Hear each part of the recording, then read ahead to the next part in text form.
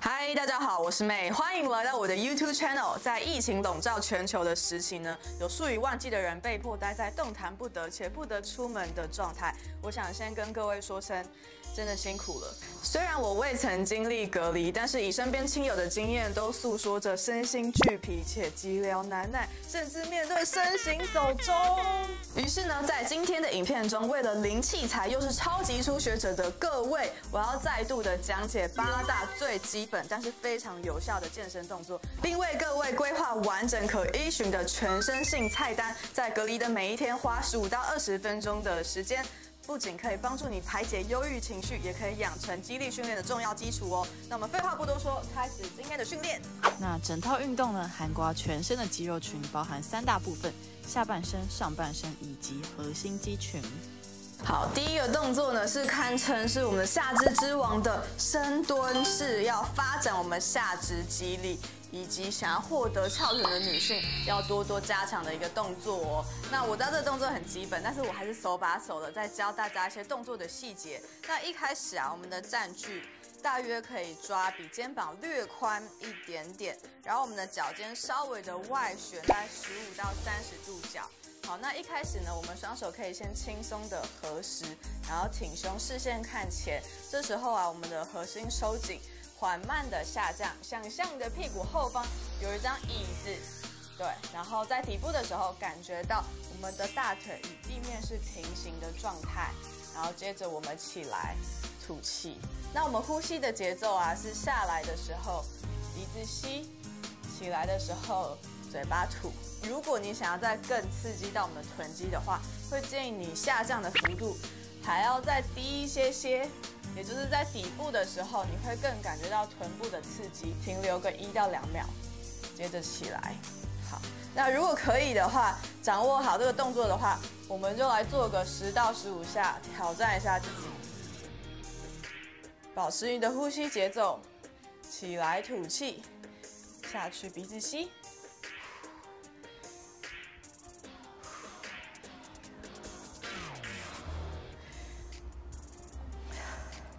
如果身为新手的你，可能做到十到二十下就会觉得大腿前侧开始酸，是非常正常的。好，我们再五下，五、四、三、二。那如果你觉得这个动作对你来说太简单了，那告诉你们一个叫挑战度比较高的动作，叫做深蹲跳。那一样，我们下降的时候。在这边，那起来的时候，运用你的爆发力以及全身的力量跳起，所以这个动作啊，会更加的增加你的心率，会觉得有一种大腿跟全身都在燃烧的感觉。挑战一下，总共目标十到十五下。我们下降的时候，记得轻轻的落地。不要给下面的邻居造成困扰。再三个，三、二、一。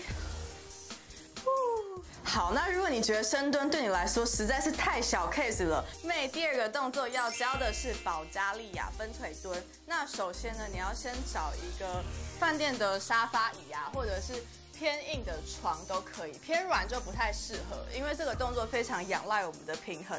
最一开始。你要先找到一个合适的站距，因为我们的后脚呢，要脚背要是置放在我们的沙发椅上面。那我们下降的时候，我们的重心是保持在我们的核心躯干。所以啊，如果你站距太窄的话，你很有可能我们的重心会往前。所以这时候会建议拉大你的步伐。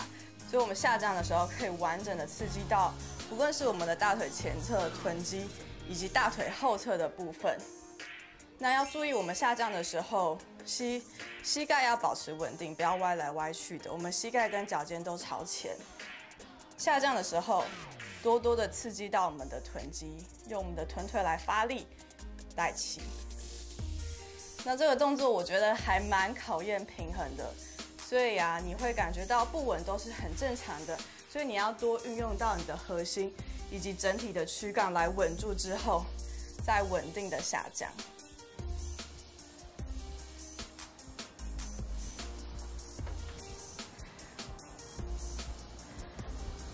好那如果你觉得保加利亚对你来说实在是太过残忍的话给初学者的降阶动作我们先不要用沙发椅 ok 我让你先扶着墙找到我们的单腿平衡，对，所以一样，我们一脚前一脚后，拉大我们的站距，呃，稍稍的扶墙，你可以更让你的躯干是保持平衡的状态，然后另外一只手你可以叉腰，如果你不知道放哪的话。慢慢的下降，所以这个动作其实是一样的，只是说我们去减少了不稳定的这个特性。那我觉得这个动作呢，也很适合长辈可以在家里训练。对，所以一样，我们慢慢的下降，感觉到我们的大小腿大约呈九十度角。如果你的后脚想要微微的点地是可以的，刺激到我们的臀部，起来吐气。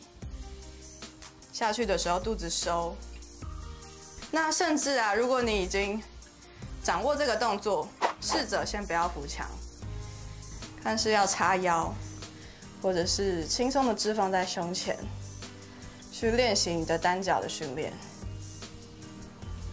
好那接下来这个动作，我觉得也是对新手超级友好，而且 CP 值很高的下肢动作，也就是我们的靠墙蹲。首先找到一面墙，应该大家家里或饭店都会有墙吧？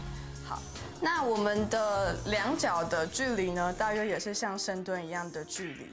那我们就停留在这边，所以我们是运用下肢的力气来稳住我们的上半身。在停留的时候，你会觉得大腿前侧有一种在燃烧的感觉，不要怀疑这是正确的。那我们就继续停留在这边。那如果你是初学者的话，你的目标可以是二十五秒；如果你是进阶的朋友的话，我认为你可以做到四十秒到一分钟哦。那这个动作啊，主要是大腿前侧，然后还有部分的臀肌。进阶的动作呢，请拿饭店或家里的枕头。我们直接做枕头前举，所以这时候我们会运用到的不只是我们的下肢，还有我们的前三角，就是我们的肩膀前侧。一开始十二十秒，你会觉得是什么小 case，超过三十秒就知道了。下肢的部分结束啦，那接下来这个动作呢，我觉得是呃锻炼我们的上身非常优秀的复合式的动作，叫做伏地挺身。好，新手不要害怕。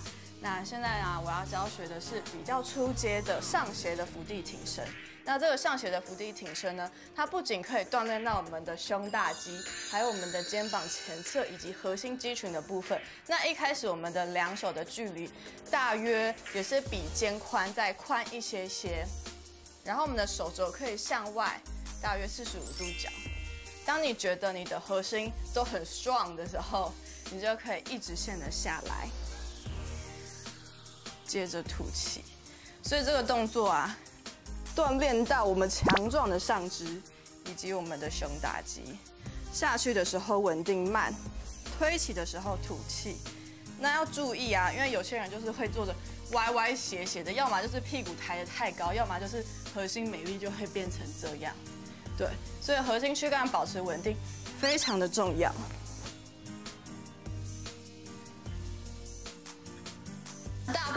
犯的错误就是第一个手肘外开，然后还有很多人会耸肩或者是肚子没力，这样子软掉。所以一开始你真的下不去的话，你可以只下到一半，不用要求要完整的下去。对，先下到一半，感觉到正确的发力之后，我们再继续组。一组可以先目标五下。然后当你掌握好之后，就可以朝十到十五下的目标去迈进。好，那这个上斜伏地挺身对你来说太简单的话，呃，你也可以做跪姿的，跪姿也是一个出阶的一个选择。就是如果你的饭店的空间是允许的话，就是把你的膝盖碰到地板上，一样让身体一直线的下去。再更进阶的话，膝盖不落地，直接做一般的。地挺身，那有更进阶的吗？有，下斜伏地挺身。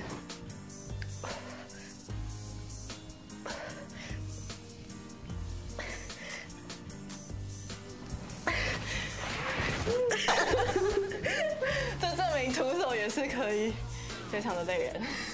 好，那很多人会在意手臂后面这块肉，拜拜肉。那这块肉呢，也就是我们的三头肌。那它是位在我们的手臂后方，会蛮决定我们的手臂的整体线条。那我觉得最棒的锻炼三头肌的优秀动作，就是三头撑体，徒手就可以完成。只要找到一个也是稍硬的这个沙发椅，然后背对着椅子，然后我们的两手呢，先扶在这个椅子的原处。好，那这时候呢，我们的呃两脚，你可以是伸直的脚，或者是弯曲的脚。那伸直的话难度会比较高。然后这时候我们的视线看前，下巴收，然后慢慢的下降，我们的手肘朝向后方，让你的身体垂直稳定的下降。那这时候你会刺激到部分的胸大肌，还有手臂的后侧，将你的身体给撑起。那如果你觉得脚伸直的太难的话，你可以把脚微微的后收，让你的膝盖是弯曲的状态，这样子会比较容易一些。好，所以很多人可能会犯的错，要么就是手肘太过的外开，或者就是肚子往前伸，所以不要有这样子的动作，核心收一点，直接垂直的往下，手肘往后。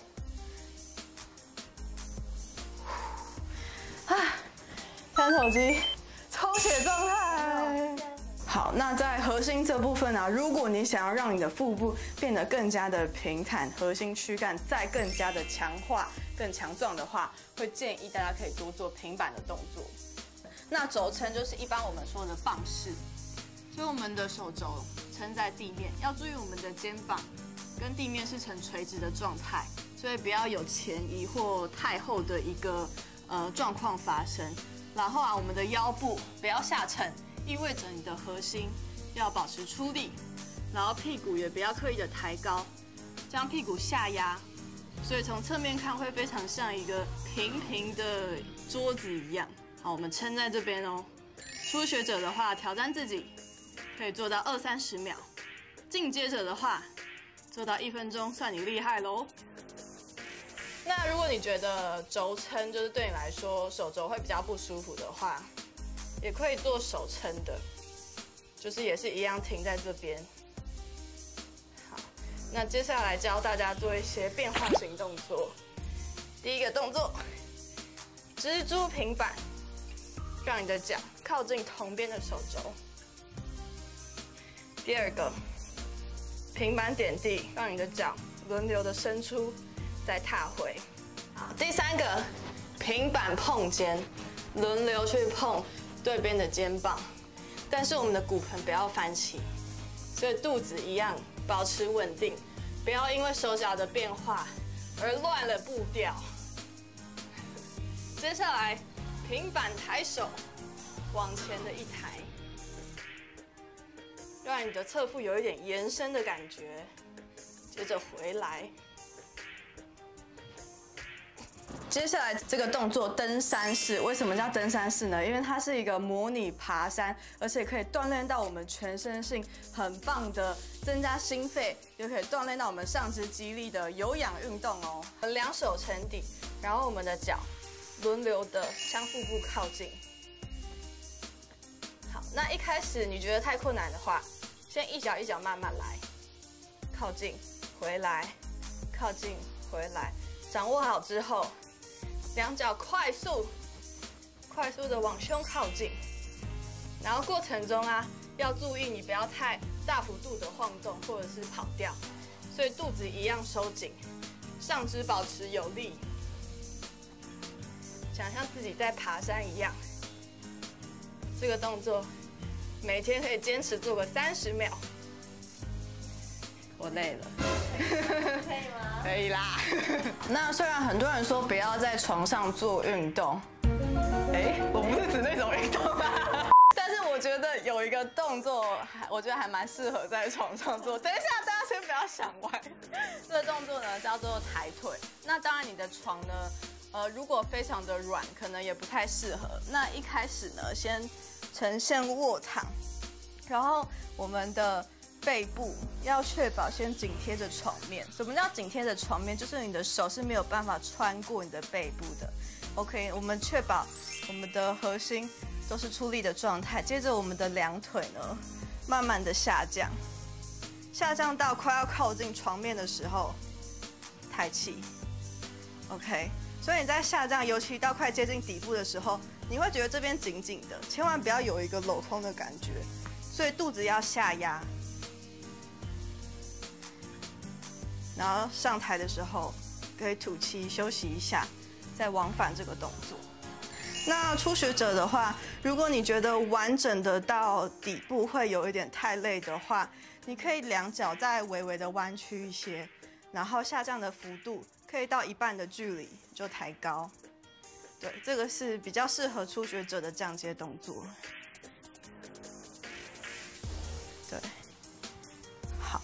那再进阶一点的话，你可以停留在底部做。两脚的轮流踢腿，所以一样确保我们的核心是出力，背部紧贴着床面。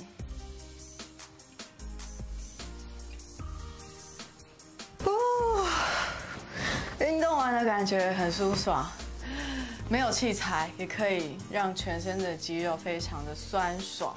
那我建议啊，大家在做运动的时候，可以关掉任何的杂讯，关掉新闻，关掉电视，然后播放自己喜欢的音乐，把这个时间留给自己，专注在自己的成长，还有肌肉的发力上面。每一天花个十五到二十分钟去做完这整套训练，我相信每次做完都会觉得自己又进步了一些。那如果你还需要更多比较进阶啊，或者是比较多花样的居家训练，也可以在我的 YouTube 搜寻我的播放清单，有更多的有趣的居家训练让大家可以选择哦。那今天的影片就到这边啦，我们下次再见，拜拜。